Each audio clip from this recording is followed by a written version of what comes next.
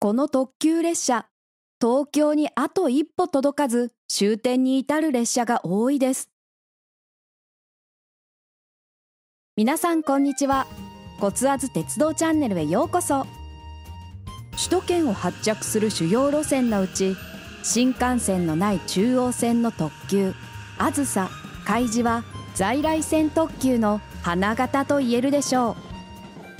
並行する中央道の高速バスに対抗するためカーブの多い中央線で車体傾斜機能を最大限に発揮して高速で走り最新型の特急電車が導入されるケースも多いです。しかし一方で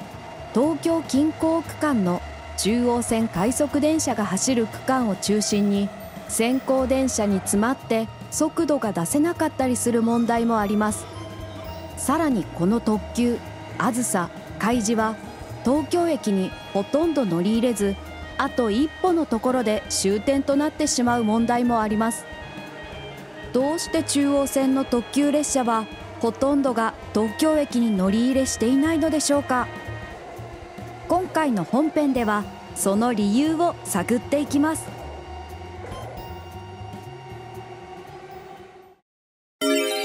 特急あずさなどの中央線特急について。特急あずさは JR 東日本側の中央線の特急列車で基本的に新宿と長野県の松本を結ぶ特急列車となります。中央線にはこの他に主に山梨県の甲府竜王まで向かう特急海事も設定されています。速達型で遠距離を結ぶあずさと停車型で山梨県内までの比較的近中距離を結ぶ海事が基本的に交互に走っており1時間あたりあずさ1本海事1本が30分間隔で交互に走っています。いずれの特急も高い乗車率を誇っておりドル箱路線としても知られています。一方で中央線快速電車の運転区間である東京から立川八王子間での利用も比較的多く通勤特急代わりに利用されるケースもあります。このニーズに対応するため東京から八王子間の特急八王子や青梅線直通の特急青梅もありまた近距離区間の特急の混雑を緩和するため快速電車へのグリーン車連結も計画されているのですなお以前あずさ号は速達型で車体傾斜機構によりカーブ通過速度を上げることが可能な車両を使用したスーパーあずさと停車型で車体傾斜機構を備えていない車両を使用したあずさの2種類に分かれていました。2019年3月に中央線の特急車両が車体傾斜機構を備えた現在の車両で統一された際あずさに統一されています。最速のあずさ37号では協定速度は時速約90キロに及び新宿から松本間の所要時間は2時間29分となります。カーブの多い区間を多く含んでここまでの速度を出すというのはなかなかのものです。ちなみに中央再線と呼ばれる名古屋側の JR 東海が管轄する中央線でも名古屋都心と長野地域を結ぶ特急信濃が運転されており信濃についてもカーブの多い中央線を区間に含みながら車体傾斜機構の活用で名古屋から長野間の協定速度時速85キロ以上を叩き出しています。なおここでは海事も中央線の特急列車としてあずさと一括りにして紹介します。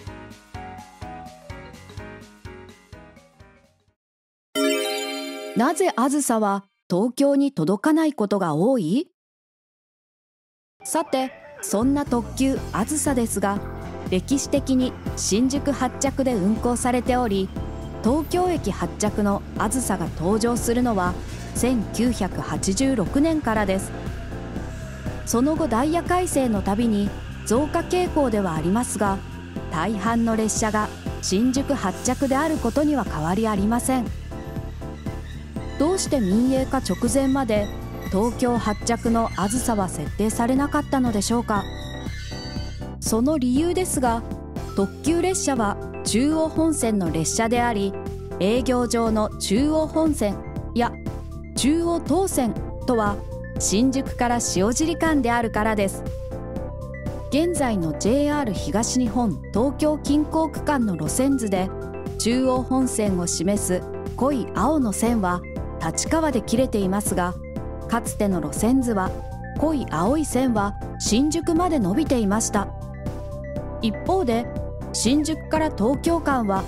過去から現在に至るまで中央線快速電車のオレンジの線しか引かれていません。つまり列車の起点は新宿。かつて国電や E 電などとも呼ばれた電車の起点は東京と明確に分離されていたのです。そして中央本線の普通列車はかつて国電区間では新宿立川八王子高尾のみの停車でした。国鉄時代末期の1986年には三鷹も停車駅に加えられていますが快速電車の中央特快より停車駅が少なかったのです。国鉄時代列車と電車はたとえ同じ線路を走っていても全く別の運行形態をとっており列車の一部である特急は新宿発着になっていたのです。なおこの名残としてか2017年までは平日深夜に新宿発着で中野を通過する中央特快も運転されていました。現在は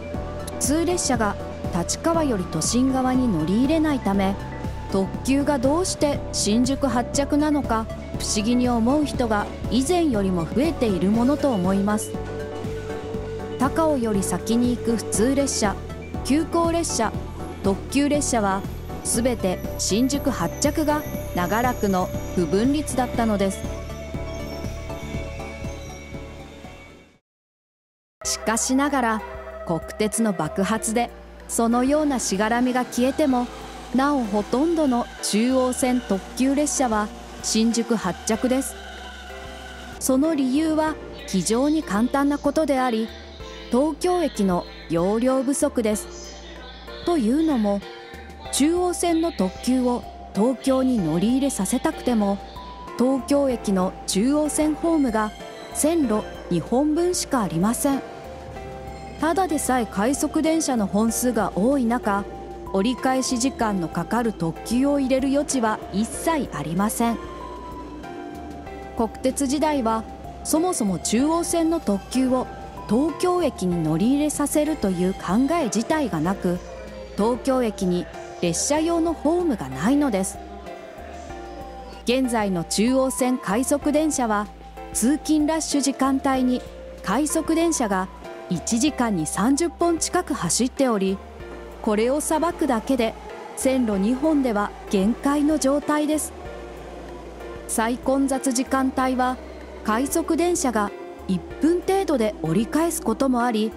快速電車へのグリーン車導入でも東京駅の折り返しは大丈夫なのかという声が上がるほどです。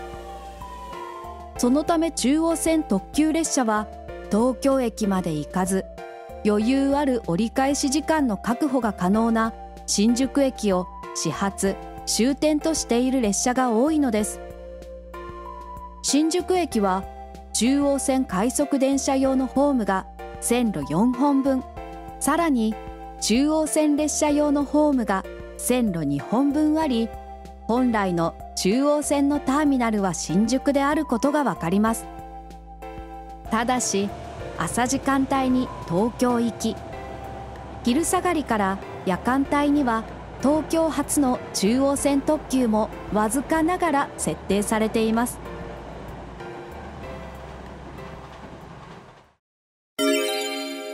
駅発着のあずさどうやって設定している？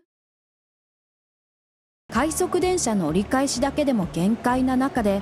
東京駅までの特急ダイヤを組み込むには列車ダイヤを組む職員さんの相当な苦労があるかと思います。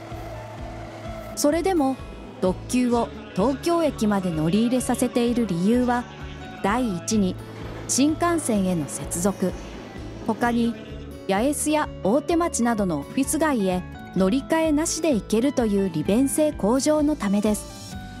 ちなみに2007年11月に新宿駅の配線改良工事が完成し特急ダイヤ設定上の制約が若干緩和しています。現在の新宿駅は快速電車の上下線ホームである7、8、11、12番線にサンドイッチされる形で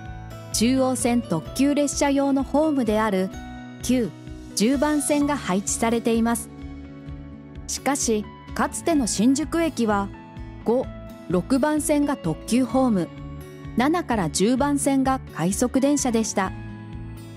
そのため特急列車は快速線の線路を横断する必要がありここで平面交差支障が発生しダイヤ設定上のネックになっていたのです。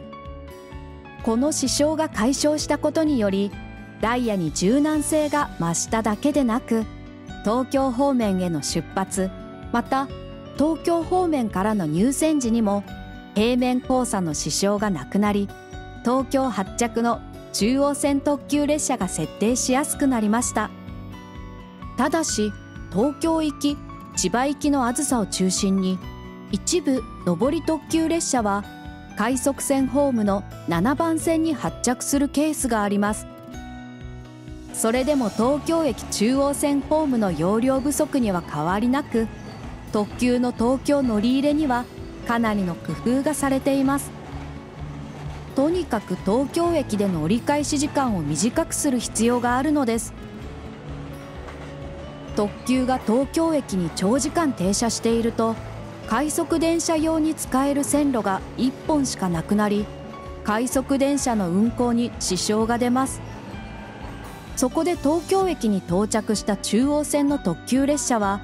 特急列車特有の折り返し作業である車内清掃やゴミ袋の交換座席の回転などといった折り返し作業を東京駅で行いません。つまりどういうことかというとこれらの折り返し作業を新宿から東京間を改装している途中や新宿駅の特急ホームで行うことで対処しています。そのため東京行きの中央線特急列車は東京駅に到着した後はすぐに回送で新宿駅などへ向かいますし東京駅始発の中央線特急列車も回送で新宿駅などから東京駅へ向かって東京駅到着後に特急列車となって乗客を乗せて折り返すようになっています。JR 東日本の全路線で最も過密ともいえる都心側の中央線。その中で特急を走らせることだけでも大変な苦労があることが容易に想像つきます。その中でも東京駅への乗り入れにはさらなる課題を乗り越えてダイヤを設定しています。快速電車へのグリーン車連結後は一部の利用者が特急から快速電車グリーン車に流れることも予想され今後中央線特急列車の運行体制がどのように変化するのかも注目と言えるでしょう。また中央線快速電車のグリーン車連結によって都内で完結する中央線の短距離特急八王子青梅の運行体系も変化が出るかもしれません。中央線の運行形態が今後快速列車特急列車ともどのような形になるのかはより一層注目する必要がありそうですね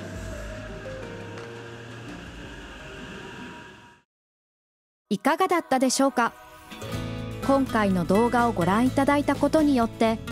中央線の特急あずさがなぜわずかに東京駅に届かず新宿止まりである列車が多い理由について国鉄時代はそもそも中央線の列車は新宿駅が始発終点であり東京駅に特急列車を乗り入れさせる考えすらなかったこと。新宿駅の構内廃線も2007年に改良工事が終わるまでは東京駅に特急列車を運転させる前提の構造になっていなかったこと。ただし国鉄時代末期になってから徐々に中央線の特急列車が東京駅まで乗り入れるようになっていること。しかしそれでもわずかな列車しか東京駅に乗り入れない理由は東京駅の中央線ホームの容量が足りていないこと。東京駅まで中央線の特急列車を乗り入れさせるために